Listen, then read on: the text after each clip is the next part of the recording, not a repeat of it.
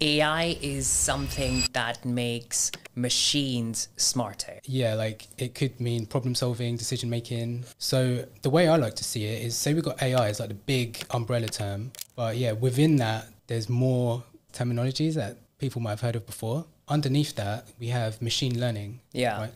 And machine learning is training a computer to perform functions without specifically programming every single thing that it needs Yeah, to do. yeah, yeah. Right? And then within that, we have deep learning or neural networks. And what neural networks are, training an AI to output from a specific input. So, say for example, input A would be like a CT scan, Right. output would be tumor diagnostics, right? So that's in neural networks.